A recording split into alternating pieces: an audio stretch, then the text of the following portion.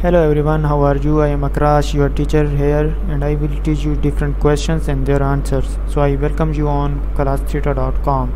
So our today's question is Fundamentally, economics deals with poverty, B. Money, C. Scarcity, D. Banking. And answer of the question is the correct answer is C. Scarcity.